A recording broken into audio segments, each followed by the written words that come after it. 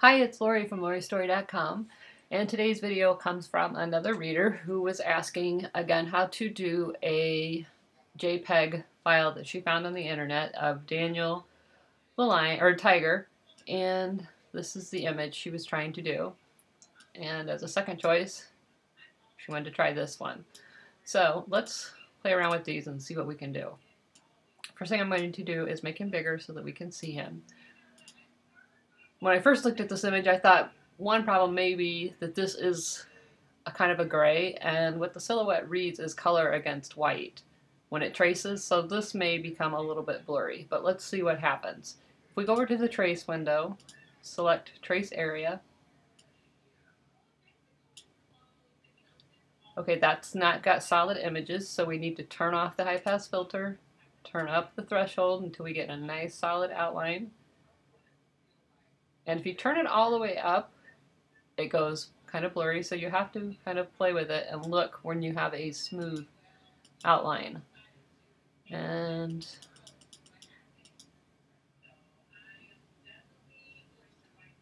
go up a little bit from there. I'm looking at this area, we need to make sure those edges are closed. Okay, and I'm going to go trace outline. So now we have the outline and the image. Okay, so now what I want to do, I'm going to make a duplicate of him.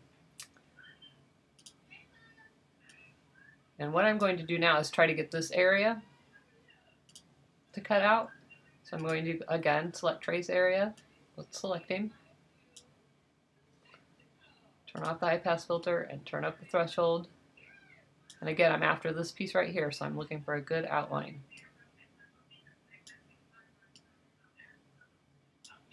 I think that looks about good. So I'm going to hit trace this time.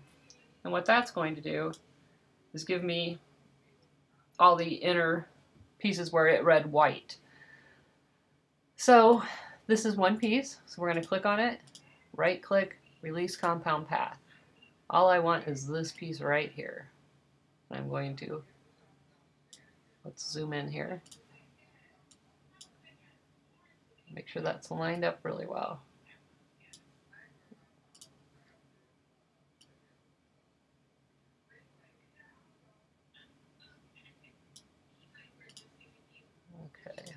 And I have that selected, I'm going to go to the cut lines and hit cut edge. And I'm going to select this line. Make sure I have the right one. Cut edge.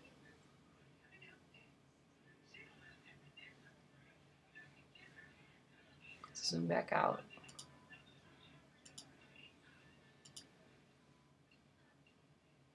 We can get rid of all of this.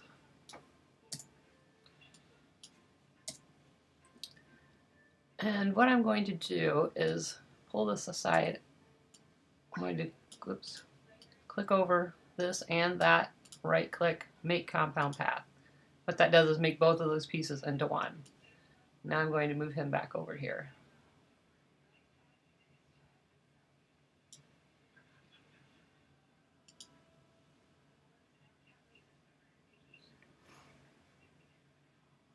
Zoom out a little bit. We don't need this guy.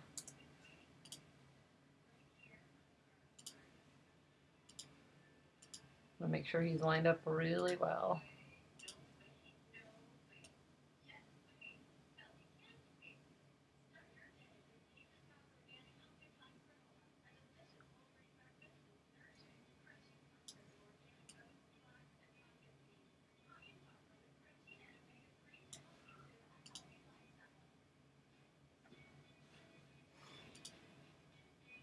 Okay, so I'm going to draw around everything, right click and group.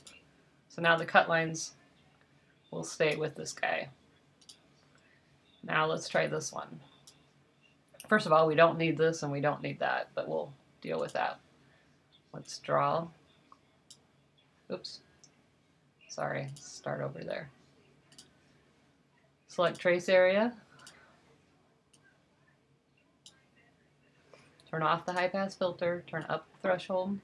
Again, we're looking for a good outline on that outer edge. What's going to happen with this one is we're going to end up, it's going to tra trace around those polka dots. But let's let's give it a whirl. So this is what we have, but there is an outline around the face. So I'm going to right click, release compound path, and I'm going to pull that piece out. That's what I want. I'm going to get rid of all this. And now I'm going to take this and this, select them both. I'm going to go to the alignment window, align center, align middle. And now he's lined up. And I'm going to hit cut lines, cut edge. Oop, no cut. I didn't select the right line. Cut edge. So that's how I would handle that. Now I'm grouping it all together, selecting it all, group. So that's how I would hand, handle that image if you wanted to. I don't know uh, which edition you have, but if you want to get rid of this,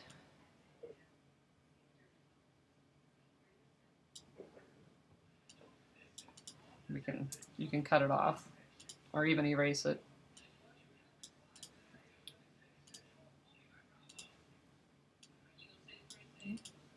Now selecting my knife here.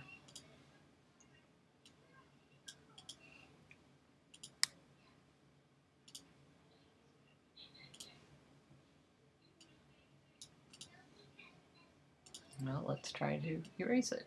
Here we go. So that's how you would do it. Um, if you go to cut lines, you're going to cut this, and you're going to cut this. Don't forget, if you want to print this as a flat image, you're going to turn on your registration marks, show registration marks. Uh, you need to go to your paper settings, use printer settings. So we need to move him within the printable area.